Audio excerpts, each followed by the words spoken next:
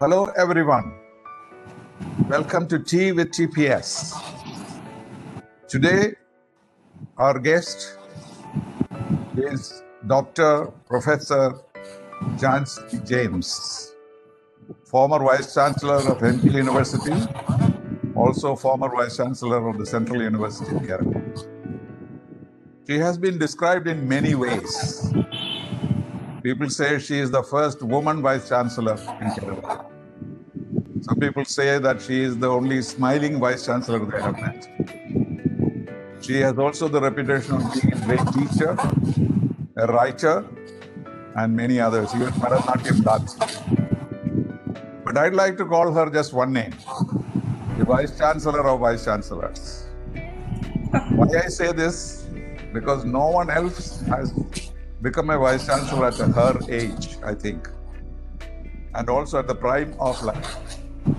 And also, she had the opportunity to run two different systems of universities. So she can be called really, I don't think there is anybody else like that. So I would characterize you like that. So, very welcome. Thank you for joining me this evening for tea, virtual tea, that is. Thank you very much, Johnson. Thank you so much, sir. Thank you for the nice words, uh, encouraging words. I don't know how much I deserve all of them. Um, thank you so much. And virtual tea is um, uh, delicious enough. right. Thank you. When things get better, we'll have proper tea another time. Yeah. Okay. When we talk of Vice Chancellor, there are some legends. So, first, I'd like to tell you these legends and take your reaction to that. I don't know whether you have heard these before. The first legend is that the Maharaja of Travancore had invited Albert Einstein to come as the Vice Chancellor of the Travancore. The second legend is when a new Vice Chancellor wanted to call on the Chief Minister, so EMS Namboodiripad, he said, Oh, you are a Vice Chancellor. I should come and call on you. And the third is a saying that when a good teacher becomes a Vice Chancellor, we lose a good teacher and get a bad Vice Chancellor. What are your reactions to all these legendary statements? Have you heard them before? yeah, I, I've heard all these earlier, and Okay. I, I heard the first two, the, the legend part, uh, before I joined as vice chancellor, uh, and I I wanted to believe in them, you know, and that was a great strength. It was empowering um, that um, uh, you are on a on a on a base of power, and uh, so that really helped me. The third part of uh, uh, the academician and also ending up as a bad administrator. Well, I, I wouldn't accept that. You know, for me, um, the the transition from uh, the academician to the uh, academic administrator, it was a challenge. Um, of course, uh, uh, there is a, there is an element of loss because you know, I was in the prime of my academic career. I Right. loved what I taught, I loved what I researched on, and I really liked the career. I chose it, you know. So um, uh, uh, and so I had to I had to stop in the middle of many of the academic projects that I had launched. Um, so that was a loss, but although I tried to continue that in my own way, uh, I could have done much more if I had remained as a pure uh, exclusive academician. But uh, uh, what actually made me uh, go in for this um, vice chancellorship was actually a dream, a dream uh, of making a university uh, teacher friendly, research friendly, student friendly, uh, and, a, uh, and a great place for learning, uh, research, teaching, and academic interaction. Probably many teachers who work in the universities do have these dreams. Uh, particularly when you uh, meet with very unhappy, discouraging responses from the administration. Uh, many of us, particularly because I was also the director of a center, academic center for comparative literature, uh, you know, sometimes you felt that only if we had got some more encouragement from the administration, we could have done much more. You know, that idea of going beyond the discipline and beyond the routine academic chores to build up something new and, you know, attract the academic community from uh, outside your little world. So, That means that as a, as a professor, many of the problems that you found, you thought as a vice chancellor you might be able to resolve them. solve them exactly. Was that the was that the ambition? Yes. Uh, to some to some extent, you know, uh, I I succeeded in doing that also, because I could understand the problems of my own colleagues, you know, my own fraternity. So I, I could help a lot of them, particularly in their aspirations to go higher, to become innovative, to bring in new practices. Uh, uh, I I think I, I could help a lot of people. And uh, that was a success, and also starting new courses. Uh, I felt that, you know, even now I feel we are so stuck with old things. You know, the, the unwillingness to change, the unwillingness to really, really accept the relevant, you know, the modern, the upcoming, the, the unwillingness to update ourselves. That is sort of inherent in us in all systems, and particularly, you know, in the university.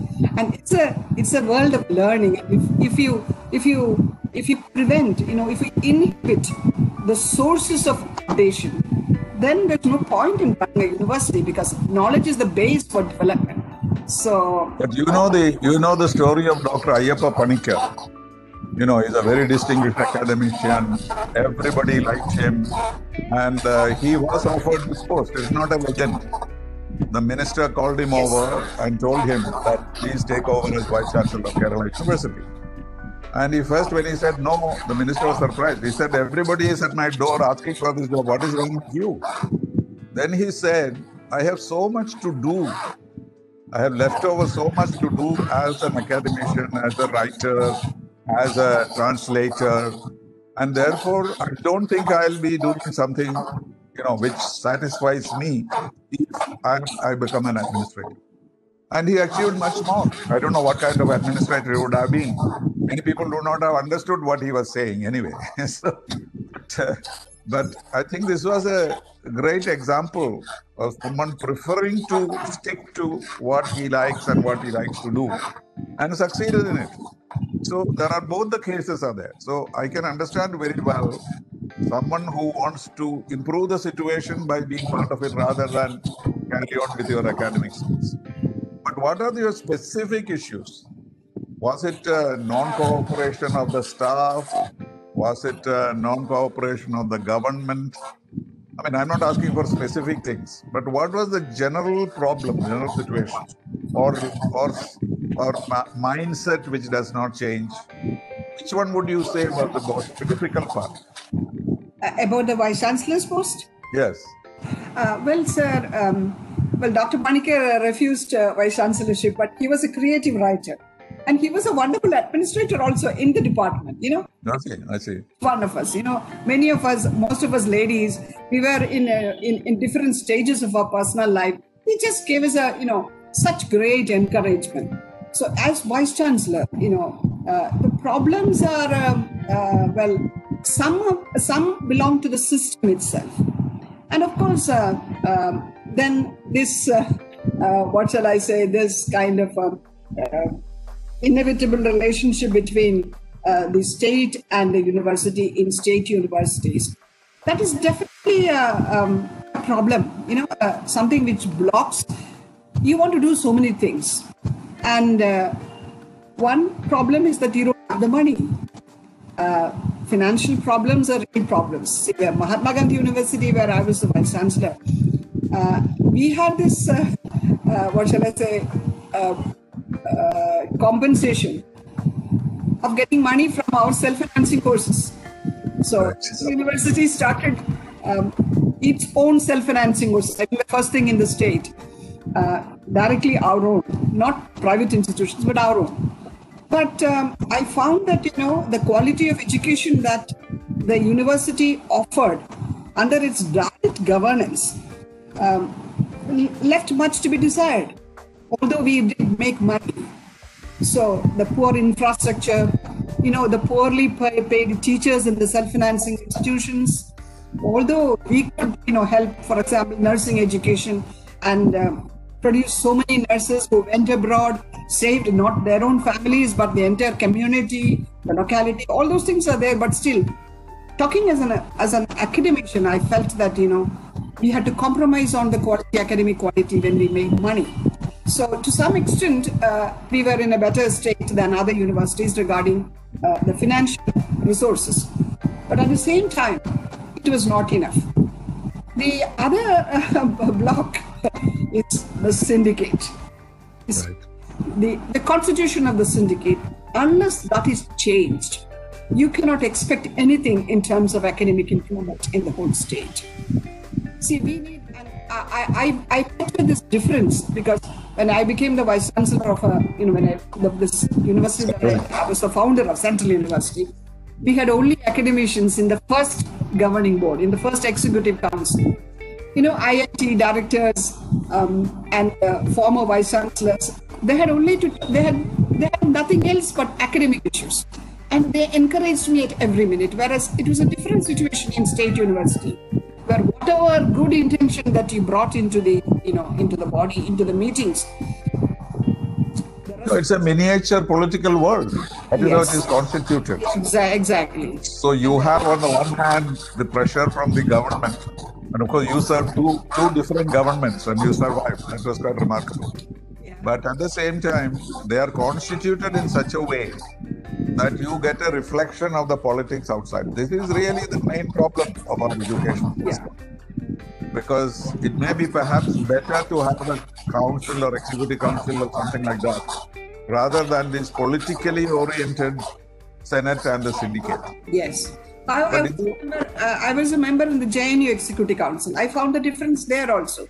Um, of course, they also had their own political inclinations and all those things, but at the same time, uh, uh, well, uh, was there as a member, Mohan Gopal was there, was there you know, everybody had their own, you know, political differences, all those things were there. But at the same time, when it came to the meeting, they talked only about JNU and its academic growth. We had problems, but only that and nothing else. No personal issues, no unhealthy, you know, uh, rift and quarrels. No, no promotion of no promotion of peons. No, no, nothing, nothing, nothing, nothing. recruitment of attached assistants. No, no, no. All this, I know. But anyway, that is a reality that we have to face with. But did you have any time when you had to really stand firm? Did they nickname you Jhansi Rani or something? you were that firm, did that happen? Well, uh, I, I, did. I did succeed in you know introducing many new things, and uh, I was also I'm also happy to say that I, I finally succeeded in getting the consent of those who started with opposition in the beginning. I was able to convince them. Probably, you know, I'm also not a bad communicator. I, I could I could somehow convince them, and uh, uh, and I think sometimes I felt that in the syndicate they just spoke because you know they had to, you know, they were asked to or something. And finally, you know, they agreed. Uh, so I started new courses like the disaster management course, and uh, I could actually construct a new building for the examination wing. The pathetic state of the staff, you know, who could not even get up when I go to the section because. But do know, they really do they really have a veto on these things, or they just express opinions and then you carry on? You see, you can't go on, you can't proceed. You see, they come, you see, you go to the syndicate with 350 items on the agenda book, and you cannot even complete half of it. It's being it's being churned again and again because of the fight. They are not fighting with the vice chancellor; they are fighting with one another because they also represent different political, you know, sections or those things. So it is not, and at the same time, in the last two hours, in the last two or one hour. Um, things are just passed. People just put out the agenda name, agenda number. Okay, 32. Teacher, 32. Okay, passed. no time. so, it becomes some kind of a drama. Yes, but I, I think things are changing. You know, I, I was the vice chancellor more than 10 years ago, and I think things are changing. There is improvement. I heard this is a great thing, you know, to hear about.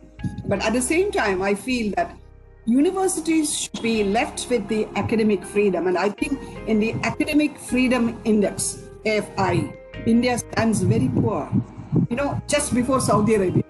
We are, we are even, you know, below Pakistan. That's I. thing. And unless you were uh, you were instrumental in bringing about autonomy to you know colleges in the state, and the great change that has been brought about in the colleges. And I'm the member of some of the academic councils of these colleges. You know, it, it's uh, of course it has its own teething problems, no doubt about it.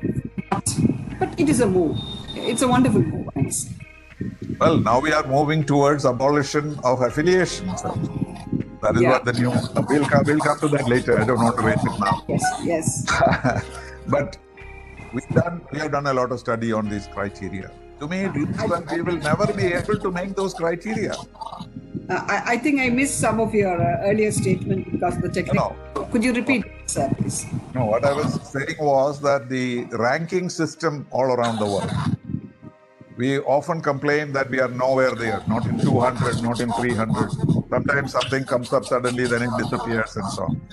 So, if you look at the criteria which I did, I found that at least 10 out of 20 we can never attain. Yeah. Like, for example, how many Nobel Prizes have you won? How many patents do you have? How many foreign students you have? How many foreign faculty you have? These are the questions they ask. And we get zero, zero, zero, zero, zero. So, where can you meet this gap? Well, still it is possible, sir. You know, in some of the things, um, say Nobel laureate. Well, 100 years after Tagore, we haven't got a Nobel laureate. see, there are many issues, even for literature. I must, uh, I must uh, uh, share with you, sir. See, we have wonderful writers in this country. You know, in the regional writings, and they translated properly. And unless these reach the Nobel Committee, you know, they can't, they can't be considered. And I, I'm, t- I'm telling you, sir. You know, even, even the present Nobel laureate, I must say, there are uh, at least more than 10 uh, better writers in this country in the regional language. No doubt about it. But it doesn't reach them. So these are these criteria. Uh, I'm sure that these criteria on which our ranking is made, there is an unfairness. It doesn't suit them, to suit us. But they are great aspirations. You know, they are great targets for us.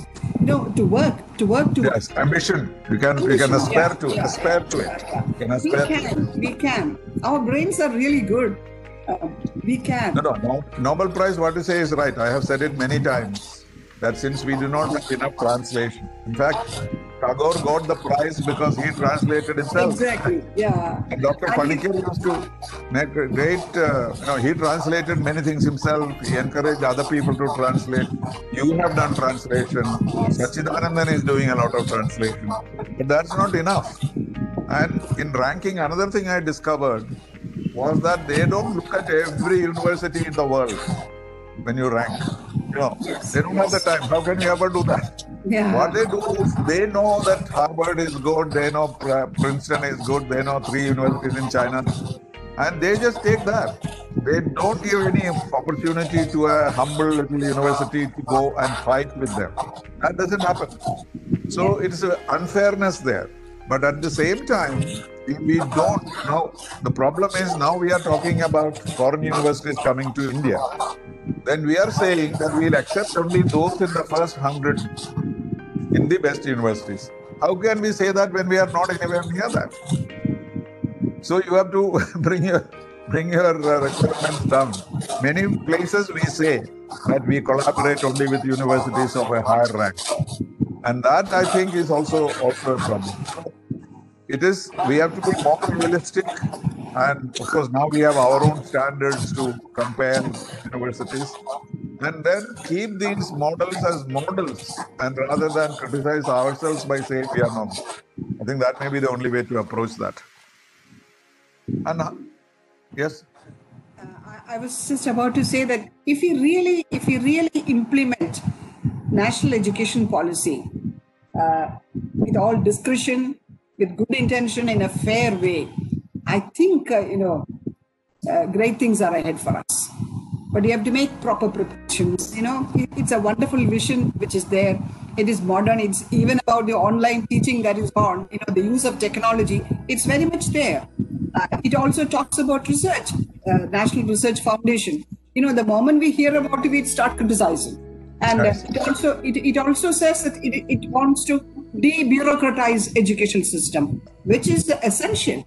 And it wants to fill up people, you know, fill up the system with academicians. And even the governing board will board will consist only of academicians. All these are good. So let us go. Uh, let us let us go one by Okay. I was coming to NEP. I think both of us have similar views on the NEP. Yeah. But before that, one question. When you talk about excellence, won't the introduction of private universities make a big difference in Kerala? Um, Competition, yeah. uh, you know, uh, more money, financial ability, more autonomy. And we see that in the north. Most of the private universities are doing very well. Why are we resisting it in Kerala? What is the problem? Well, um, with caution, we should do this with caution. Um, one thing, you know, um, when you say many private universities are doing very well, there are also universities where uh, things are not that okay. I have been the examiner of some of these, you know, PhD dissertations of these universities. Academic compromises are made, and uh, um, lots of vested interests, you know, come in the way, and sometimes the whole family, you know, uh, manages an entire university. So there are issues, but at the same time, as you rightly said, this will definitely kindle a competitiveness, a competitiveness in quality. So that is very important. And also, uh, private universities are uh, more expensive. So I'm a little concerned about the divide, you know, the social divide that education might make at any cost. I think education should not be an instrument in contributing to the to the inequality in society. So, you know, only only it is now happening in our private colleges now. You know, see this self-financing institutions. Some of them are doing extremely well, but very expensive. To get into them, you see to join a, a BCom, you know, to join a, a commerce B, B, uh, BCom course, you have to spend lakhs. See, th- that is a very unfortunate situation. And uh, what explanation can we give uh, to, to these children who come from, you know, financially backward families that they can't pursue their studies? It's not because they are bad in terms of their intellectual, you know, prowess or intellectual or brain-wise uh, qualities. So I'm only concerned about that. Otherwise, I am actually I support private universities because No, Jancy, you, you are aware that we drafted a private university bill. yes, If you have carefully looked at it, you will find that we had taken care of these things. okay, In fact, we wanted to ensure no student should be unable to go to a private university on account of finance. That was a fundamental principle which we put into that bill. yeah, But and also about various other things. But nobody has bothered. Nobody even wanted to look at it. yes, Within the government itself, there was so much opposition to it that we could not even get it considered. So there is some kind of a mental block, and that is strange because in Kerala, right, education has been in private hands. If there are no missionaries, there was no NSS, there was no SNDP, there would have been no colleges in this country. So that the discrimination you are making between those private public institutions and proper private universities with its own motivations. And you restrict them, put them in Lakshman Rekha around them. That's what we did. But the time has come for us to at least examine it. That's what I'm saying. Yeah, I, I, I know you did uh, good work. Uh, Higher Education Council prepared this. I know that. Um, uh, but you know, in Kerala, as you rightly said, there is this kind of blind opposition. They, people think that you know socialism versus uh, privatization. no, not always. It can happen, but not They always. should go to China. They should go to China and see how socialism works. Yeah. Okay, let's talk about this online education. You know, I've been a champion of this. 2014, I think, 2014, we had a global conference on online education because you had already left, you were already in the Central University. And these MOOCs, that is something which I thought was revolutionary. So we did a lot of studies, we made a lot of recommendations, but not even one, except for the present Vice Chancellor of uh, University, except for that one professor, nobody cared for cared for it. Now they were not even willing to experiment with it. How is that? If we had done it at that time, Now that we have been thrown into the water and we are complaining that we don't know how to swim, we could have done a lot of work in that. And now it is this is not going to end with the pandemic because we are discovering some advantages in online education. So therefore now it is time for us to settle down with this and embellish it even more rather than waiting for the vaccine to come and run immediately into a college. Yeah. How do you compromise this? You have been a teacher, you have been a vice chancellor, you have seen the world.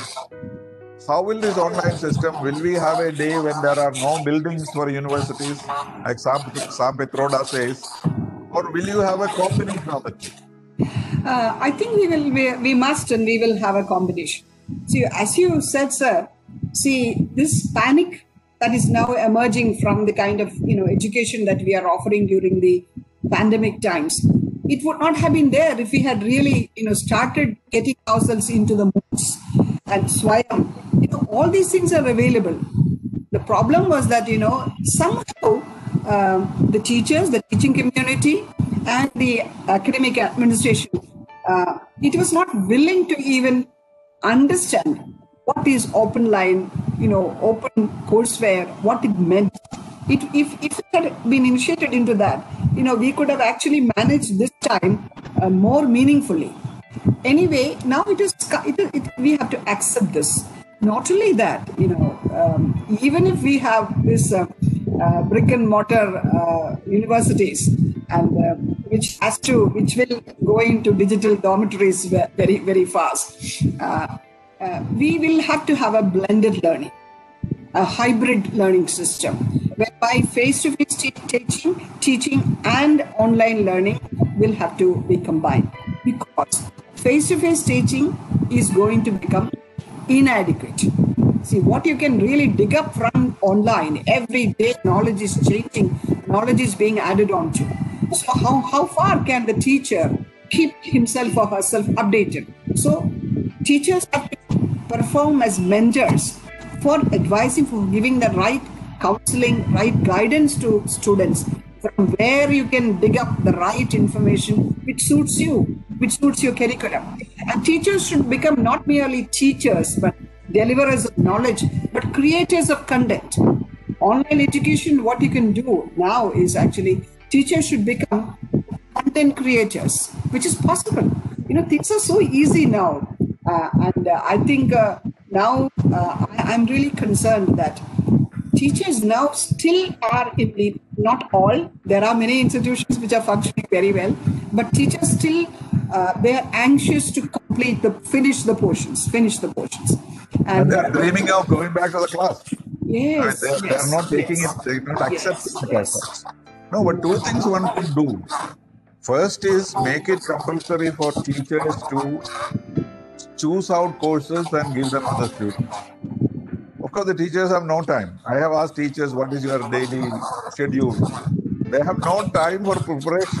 you always talking about managing this, managing that. When do you prepare? Then they laugh because they think they already prepared 30 years ago by passing that MA examination. You cannot send them back to school. So the only way, as you said, to improve their knowledge or at least make use of the knowledge available online is a must. So it must continue. Yeah. Second and is also, to sir, yeah. Sir, online teaching is not merely, you know, giving a lecture from somewhere in your house and, you know, addressing students. It's a different methodology. Its pedagogy is different. And the teachers have to be given training. And I think Kerala government, you know, did some work in this regard, you know, giving, you know, uh, batch by batch training in this. Because there is a big digital divide among the teachers. You know, one generation which is unwilling and which is not quite okay with the with the digital, with the online system. And the other youngsters who, who have not been given an opportunity to learn the new, you know, online teaching system. So unless we solve that and really identify what the proper, the ideal, the really useful online teaching is, uh, what we are doing now is something wrong. And uh, you know, we just we, we are only just transferring this to this laptop or mobile, and uh, we don't actually go go into the into, into the real change that is needed. And Google Classroom is a wonderful thing. Interactive classrooms are possible, and students learn a lot students have become, you know, excellent in animation. They can, you know, shoot. Uh, uh, they become photographers. They can do such a lot of things, and make them do all those things, and also multidisciplinarity. That is important. Teachers should not just stick themselves to geography and geology, and that's it. They should actually relate history with ecology. You know, what is history if you don't relate to what is happening at the time in nature, in the, in the world around, uh, you know, in the human world. So uh, absolutely different. You know, the times are changing, and I think online. You said teachers don't have time, but I think teachers should make time. I'm the daughter of a I sent you a question from a teacher. She is worried as to the problems she will have when she goes into the classroom after this. What is your answer to that? What she's saying, what shall I do? Because I have lost my students. They only listen to online classes. And how do I gain them back? Is a worry that she has. She has a young college lecturer, college professor. uh, take it, take it not as a problem but as a challenge you know it's a uh, uh, first thing I, I would like to tell teachers is that they should um, train themselves in in loving communication you know the, the new generation uh, they are the digital natives and we are the digital immigrants uh, so they are born into that. And they have a different idiom. They have a different way of receiving information receiving communication. And teachers um, uh, they should understand. I think they have to be empathetic. You know what students are going on now through now they are left with you know they, they have been denied friendship. They've been denied the campus life. You know they are going through a very sad time so have love and sympathy for them. But academic problems are there. You know many of the things the basic things are not taught. Uh, lab experience is not there. And um, many of the scientific experiments they have never done.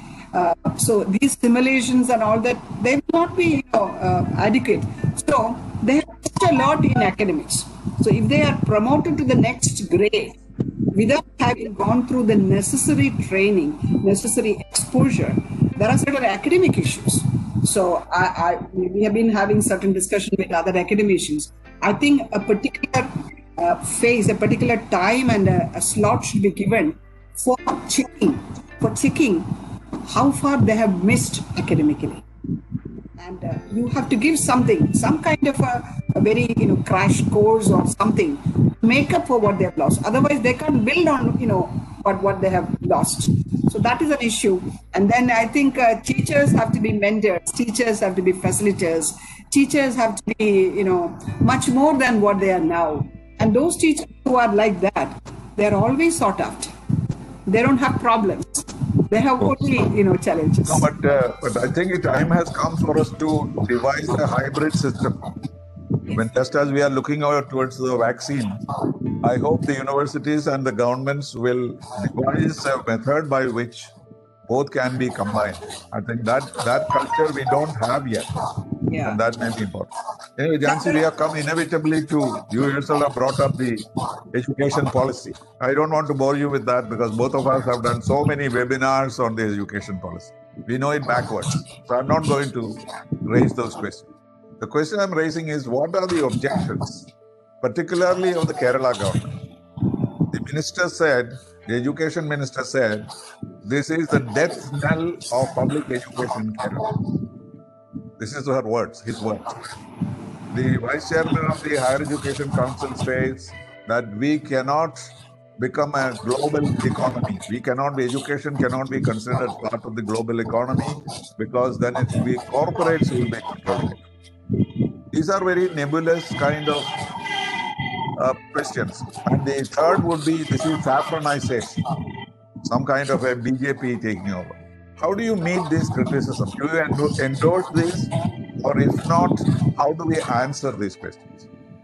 Well, uh, yes and no. Um, see, education is in the concurrent list, and uh, we can take our own freedom. Well, uh, privatization and corporatization of education. Can you prevent that? You cannot prevent it. At the same time, maintaining a fairness. You said, you know, private universities come in in your proposal. It was there. Give scholarship to students who are who don't have the financial resources. we can solve this problem. Just because you think that only private parties, private agents will succeed in implementing the policy and hence prevent it, then we are doing a great, you know, harm uh, to any any dream of improvement in our education. The quality of education in our state, particularly, is very bad. See, think of it. If you ask a BA, a graduate, or even a postgraduate, to write a properly worded letter of leave, leave application or a project proposal. Still, as I'm suffering from, they'll start. As I'm suffering from my mother's illness. Oh, God.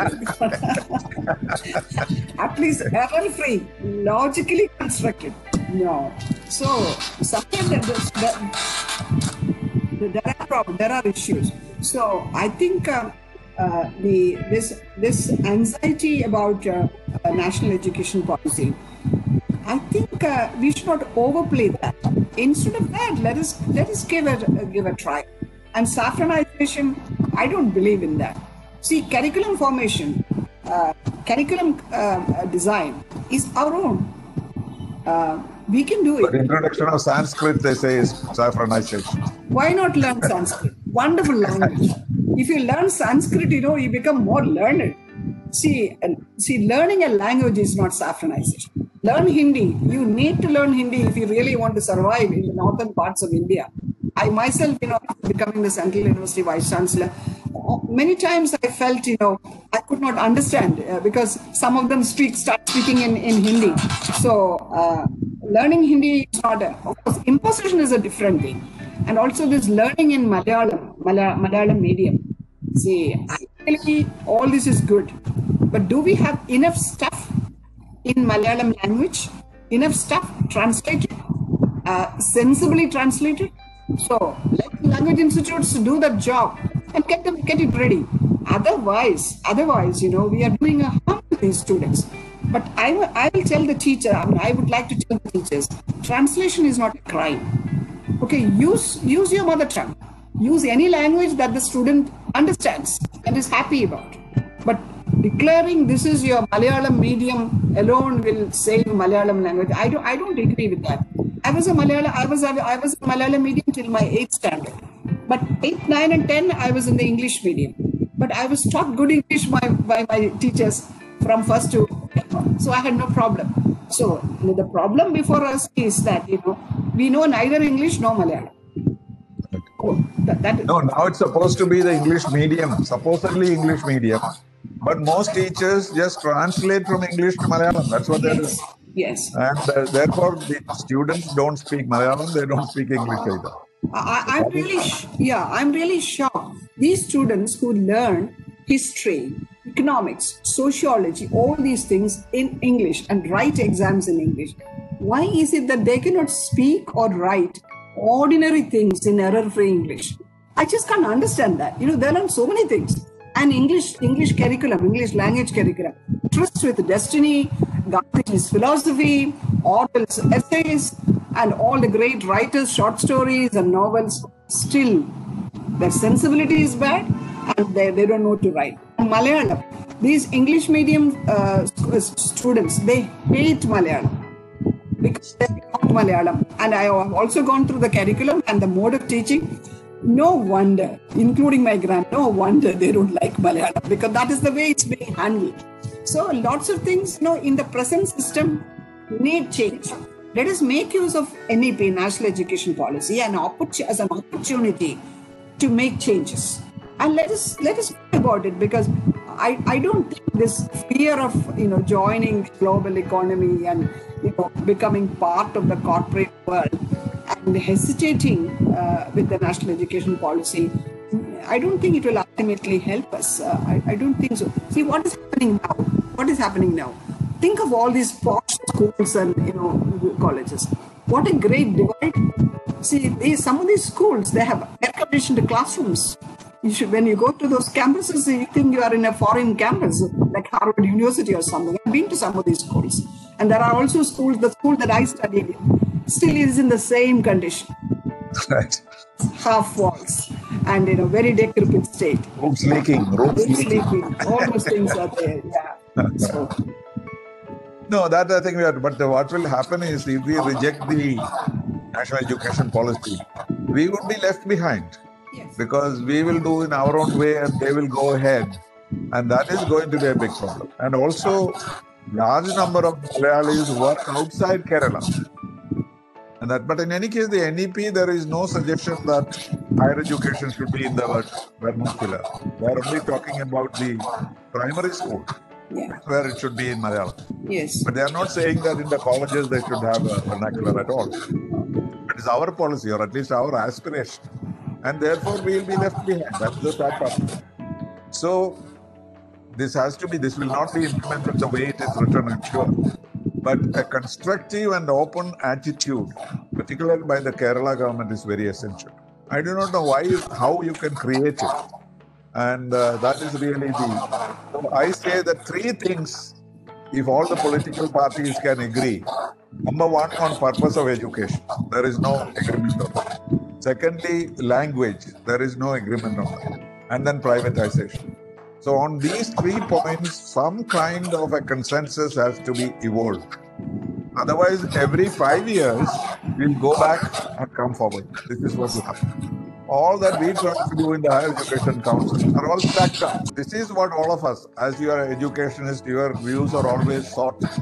I think the politicians have to come together on an all-party basis to resolve this fundamental difference, and then only we'll be able to move.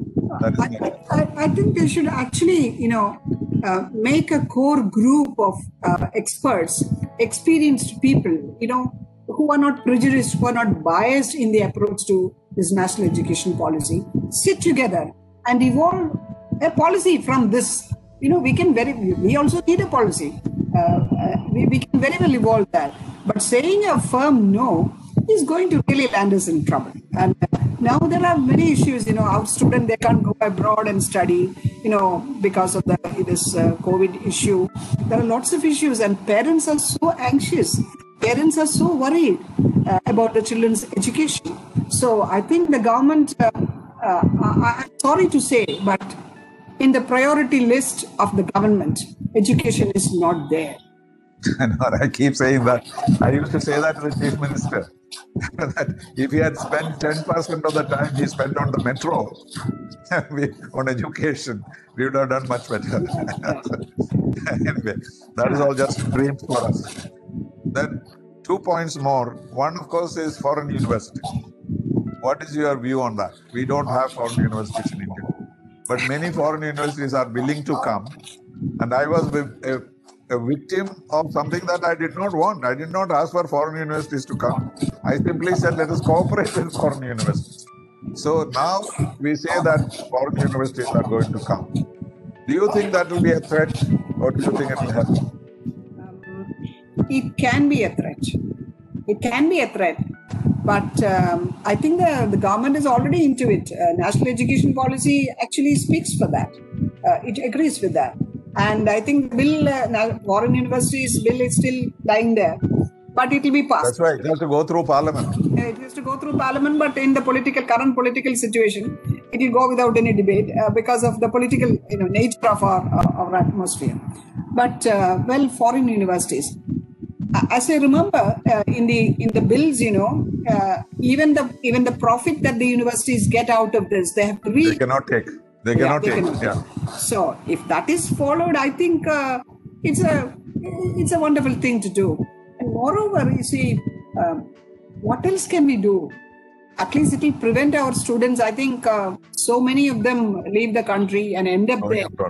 Yeah, the brain, this brain drain uh, can be prevented to a to a great extent, and it's a huge country, and uh, you can never have uh, the same education and same Everybody. Exactly. you cannot you cannot have that diversity is our wealth so uh, definitely it, this will mean that um, an elitist uh, uh, you know uh, dimension is there definitely but uh, but then uh, we make money we take loans from banks and send our children Jancy- abroad But Jancy, it already exists. It without having foreign universities, even the children of the same people who object to universities are foreign universities are in foreign universities. so, so there is no, there should be any mental block against it. But, I, I think rule, you know, if we go by rules, you know, we, we frame the rules. We frame the rules which will which will not stand in the way of um, fairness. So and see that they are they are followed problem is, you know, we ourselves allow people to uh, overcome rules. And we think that the clever people are those who can actually, uh, you know, outlive rules and, you know, ignore rules. So success is often identified with uh, ignoring rules or defeating the rules. I think we should come out of this. In foreign countries, you know, they go by law. Uh, they have their own guidelines. They have freedom, they have autonomy, but there are certain guidelines, they go by that in this country, in this particular state, particularly, what we are seeing around is people have no regard for law, have no regard for guidelines.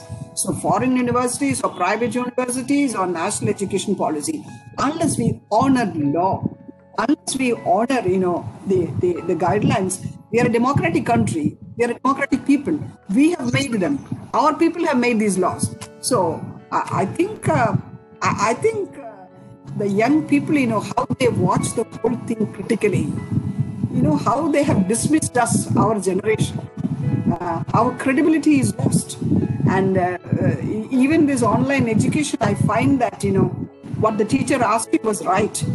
Uh, they, are they may dismiss the teachers, you know, mentally dismiss the teachers because they find that teachers who have paid for their appointment and joined these schools and colleges and make a poor show in classrooms they find the online classes or lectures by experts from other universities, from you know, from good institutions. They find it better than their classroom experience. These things are happening, and uh, we have to think about all these things. Whether we really we have to remain relevant. Yes, relevant.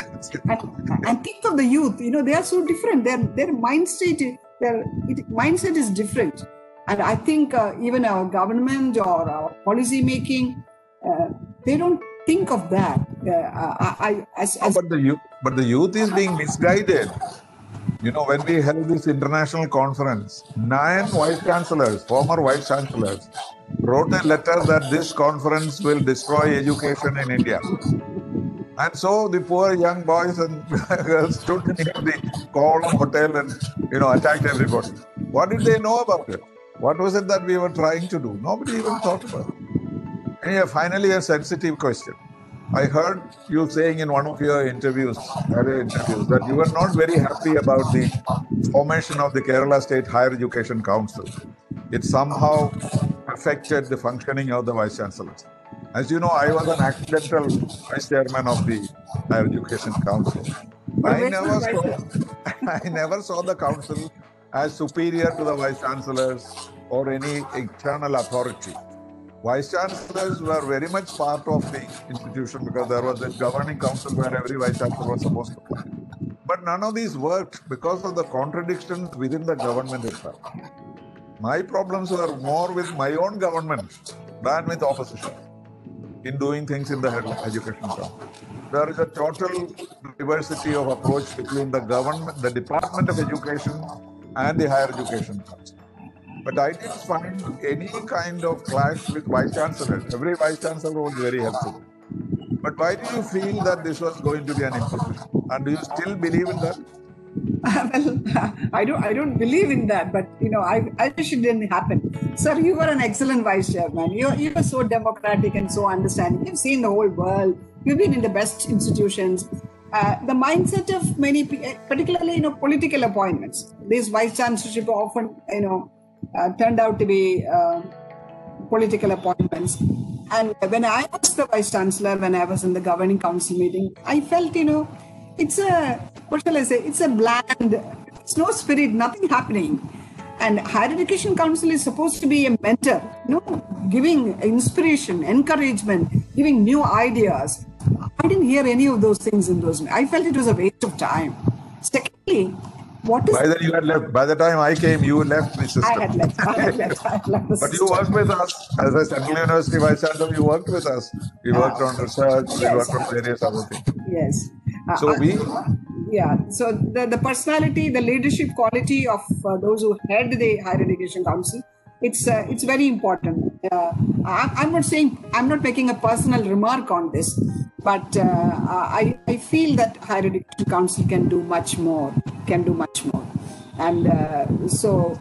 I, For this practice, the earlier practice of one of the council members sitting in the syndicate, this created some problem for vice chancellors. That's why when a former vice chancellor became the executive chairman of the chairman of the council, he abolished that.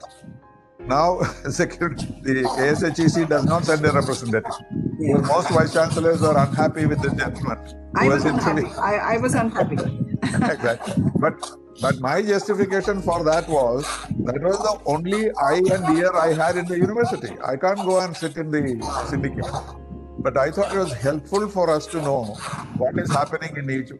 But he should not go and interfere in the day day-to-day administration like an ordinary syndicate member. He should have been an observer, an advisor, and information gatherer. it. And that was the advice I had given them.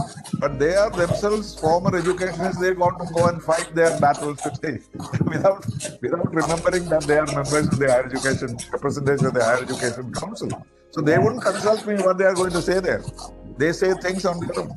So anyway, that that problem is over. But I saw the higher education council as basically an advisory group. That is why we experimented with very many things at the Arabic University, which nobody liked, people did not like. We talked about the British University. We talked about autonomy. We talked about, um, you know, private universities.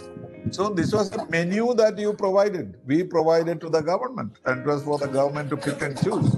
And we chose only one, which is autonomy. everything, else, everything else still remains as a menu. So, so Well, is think of it, sir. See, when uh, we, we were all in the know of all these things, you know. So when you find that out of the 10 things that you propose after having done so much of work, you know, research, so much of work is involved on. Only one thing is accepted, and that also with a lot of hesitation. And I know that some of these autonomous colleges are facing hell in their Yes. university. So they wish they never had autonomy. yeah. So so so that that lack of power, that lack of you know uh, what shall I say, a strength on the part of um, uh, higher education council that probably made me make a comment, but I don't have anything you know any any, you know bias or No, but the basic problem is the lack of consensus among political parties. Exactly. That is really the problem. that is Because they- everywhere. Yeah. yeah. Well, thank you very much. We had a very, very Thank interesting sir. discussion. I tried to avoid all the questions you have answered elsewhere. So I was looking for something new to ask you. I'm But sure. sir, sir, I just, uh, I think I told you once, uh, sir, this particular uh, COVID period, you know, uh, it's a family period. You know, education has been brought into the families, and I think um, it's also a time. Although our conversation is on I education, read your, I read your article on that. yeah. So women have a great role. Mothers have a great role. You know, in providing the right ambience for learning in the homes. Uh, yesterday, I heard a, a student telling me, "Oh, uh, there's no joy. The teacher is sitting on the bed and giving this lecture." Uh, teachers also have to be very careful. You know, to bring in some kind of formality and attractiveness. You know, in the whole interaction. There is no physical interaction, but the the mothers, the ladies in the homes also. You know, make them feel make our children feel that you know education is a very important thing learning is a very important thing. And what they're receiving is you know fund of knowledge from a source from their guru. So on both sides uh, because you, you told me a teacher asked you how they would you know manage the situation now and afterwards. I think uh, we have we have to be we have to uh, be more serious. We have to be more careful. We have to be more loving. And we have we have to think that you know I think we- don't, we underestimate our children. That's what I feel. We underestimate them. We don't understand them. Uh, we don't think of their feelings. We don't think of their frustrations.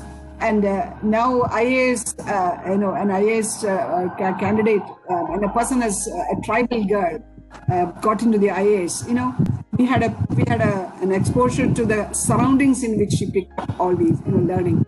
How much opposition she had to face. So things are possible. It's possible. So I think uh, that kind of a motivation has to be built up inside the home and from the other end, from the from the teaching end. this Well, we haven't had much time to adjust ourselves to the situation. We are still. Sudden. fairly- No, but you know that experiment which was done in some village, a company made some walls from some holes on the walls okay. and left computers there. No instructor, no booklet, nothing. And left the school children into that. Within 10 days, they were astonished at the mastery that they had acquired with these computers with no education, nothing to teach, because these are all intelligent machines. You know, so it is not necessary. you see, earlier when you when you bought a small iron, there'll be 20 pages of instructions. But you get an iPhone today, there are no instructions. you have to learn it yourself. So that is possible. That inherent ability is very much there. So that I think is essential, but there is no single answer for any of these questions. But people like you have to work harder and harder in order to take that, you know, that famous Michelangelo's thing, you know, every stone has a sculpture in it. You have to pull that sculpture out and cut out all the unnecessary things. Then you become a, become an artist. And that I think is the answer to all this. yes, yes. Thank you very much, Jancy. It was great Thank. You, Thank you. Thank you.